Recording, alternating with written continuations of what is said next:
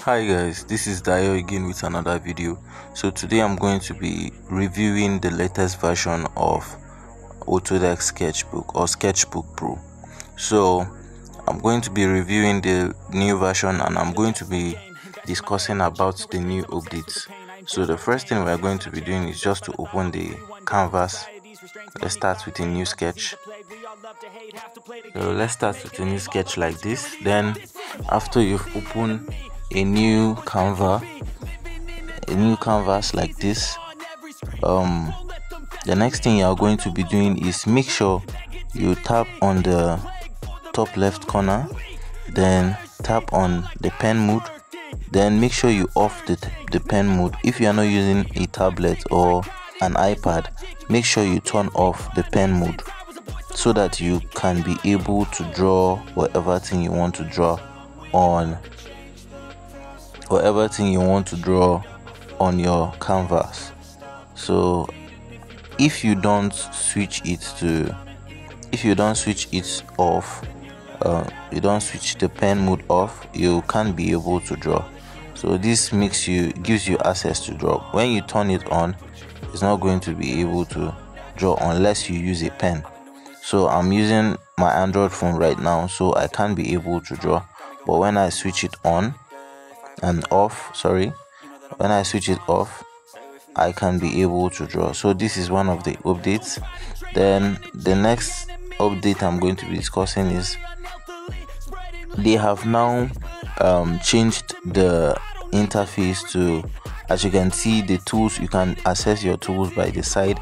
Instead of you changing your resolution from your phone from your developers option you can just simply just get the tools by the side. And sometimes if you can actually access the tool you can press on the top right corner. Um, it's going to appear. So just tap on the uh, top right corner and tab it back again. And again there's an option. There's a feature that the, the made that you can actually adjust the opacity from here. Even without um, clicking on the brush you can actually adjust the opacity from here and the size of your brush so this is a quite a nice update as well. So um there's another feature they have introduced a lot of features actually. I'm using a purchased version of sketchbook pro and i'm going to show you how to actually get it. There's a link down below in the comment section and in the description section that you can actually click to download the purchased version. So you don't need to pay any fee. You are going to be able to get a purchased version.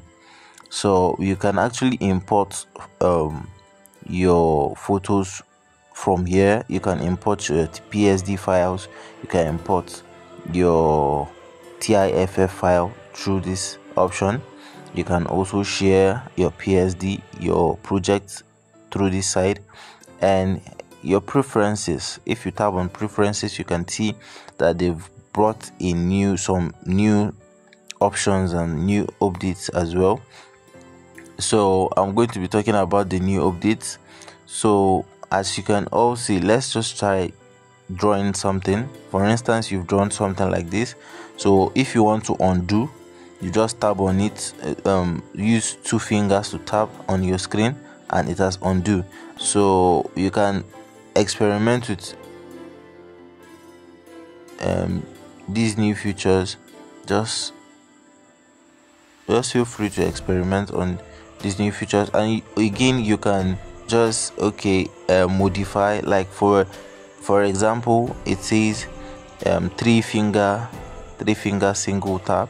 So if since the two finger single tap is undo you can just decide to say okay let me change my three fingers single tap to um, redo. So just similar for those who are using procreate they have similar feature. So you can actually change your preference over here and make it flexible as you want.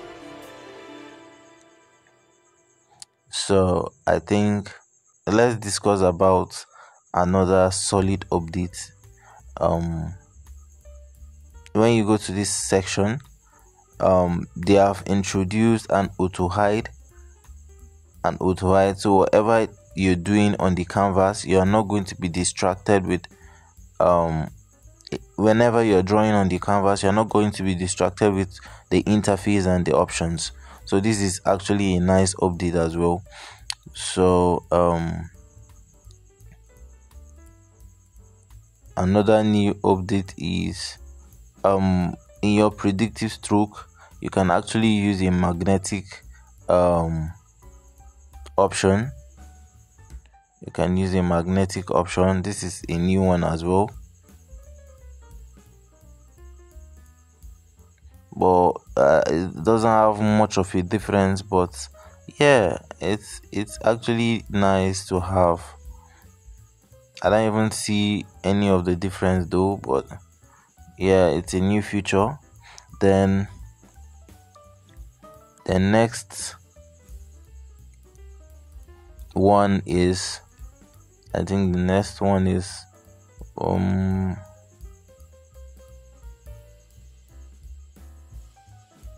the next one is they've introduced some certain markers and some certain tools in um, the tool section.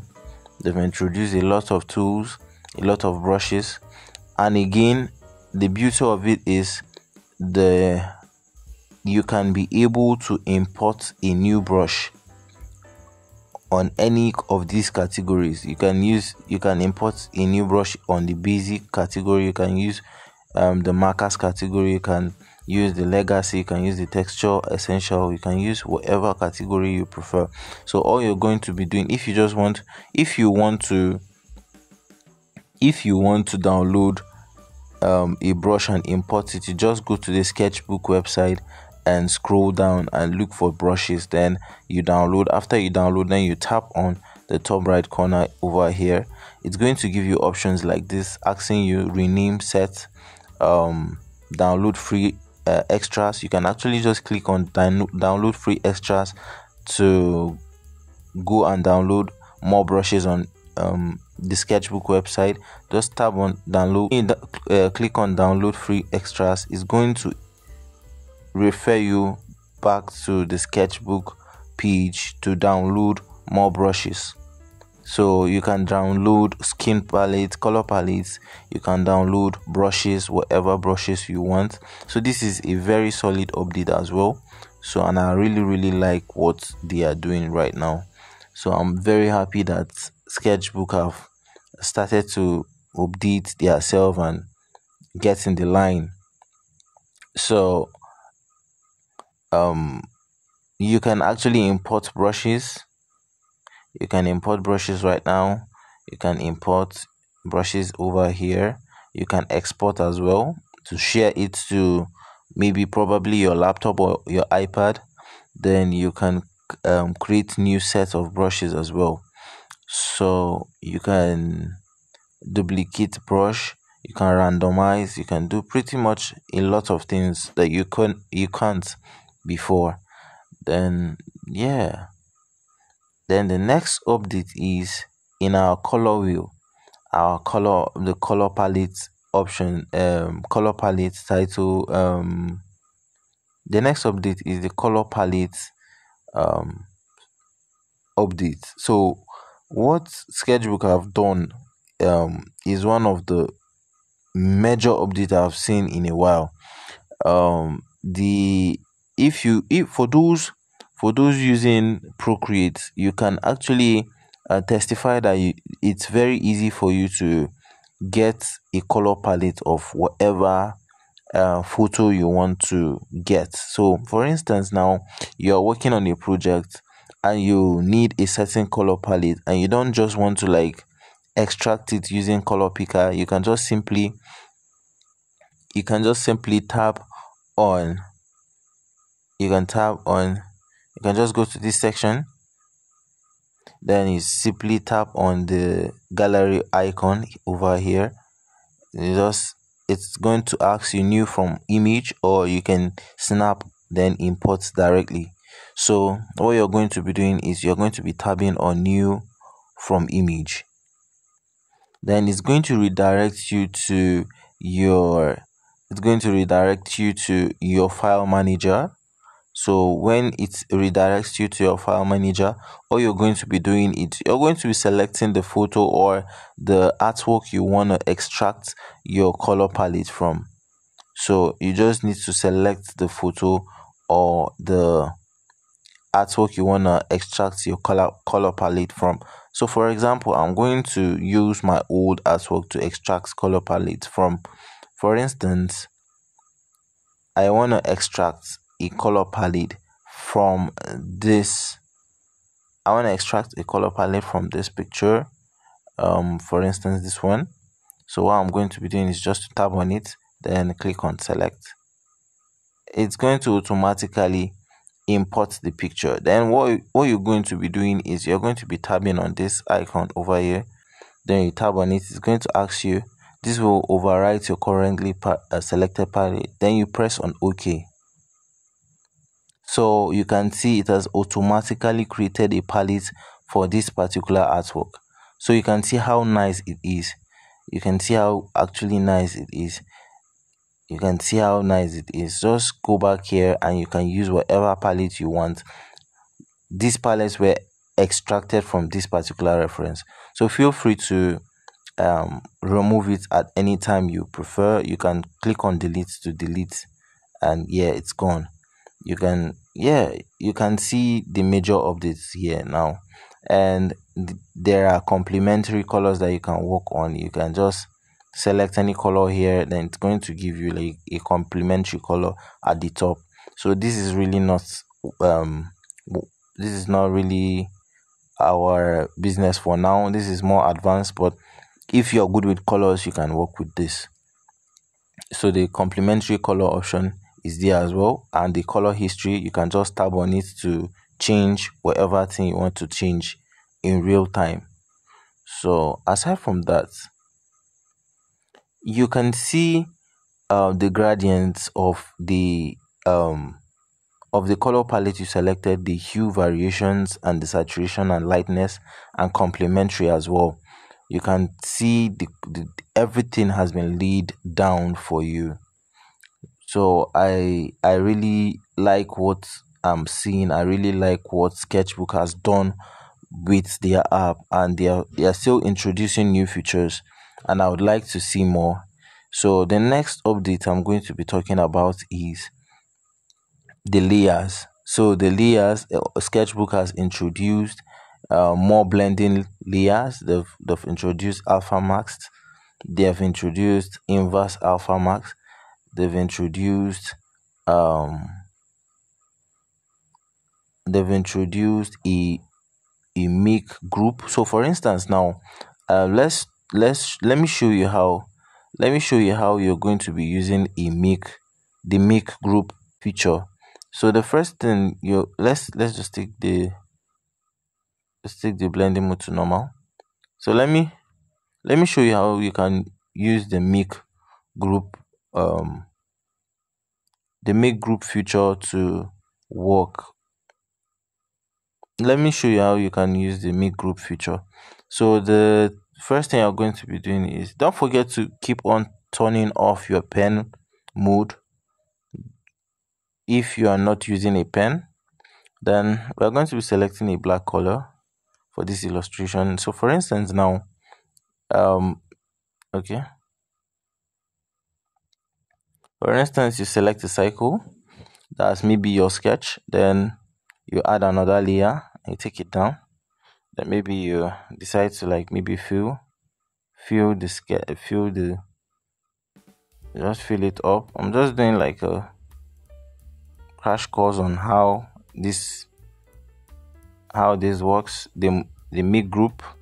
So i'm just trying to let's create a crash course a crash illustration. So after you've done that then you add another layer and yeah and you still maybe select another color and do, and do whatever you and do whatever you want to do.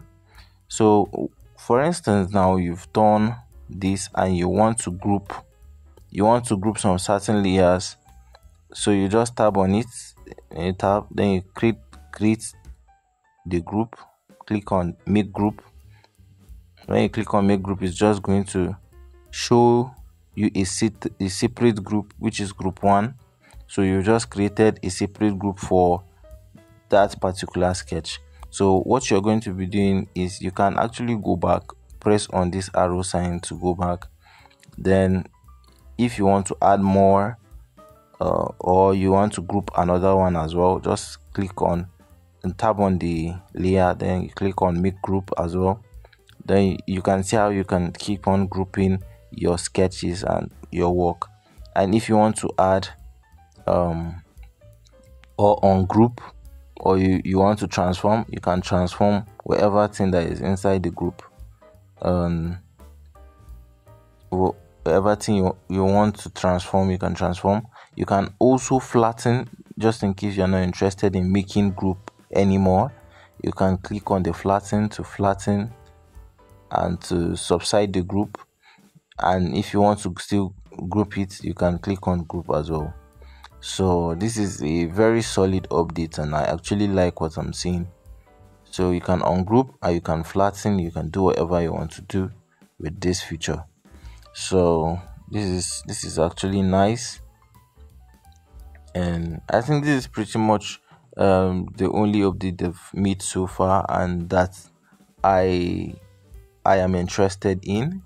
So and i hopefully and i think they are going to bring more updates as well. So just stay tuned. I'm going to be using these new features to do tutorials on how to sketch and all that. So make sure you stick around and make sure you subscribe as well.